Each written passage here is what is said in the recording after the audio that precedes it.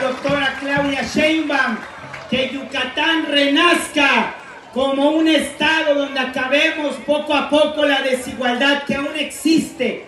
Vamos a darle a las mujeres un programa que se llama Mujeres Bienestar para que las madres jefas de familia tengan una tarjeta de apoyo que las ayude a sacar a sus hijos adelante.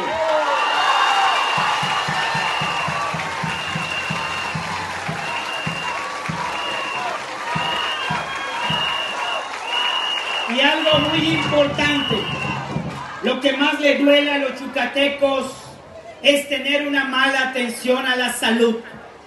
Porque en Yucatán no se firmó el convenio con la federación para que se puedan modernizar los hospitales, para tener la basificación de los trabajadores de la salud y tener medicamentos gratuitos.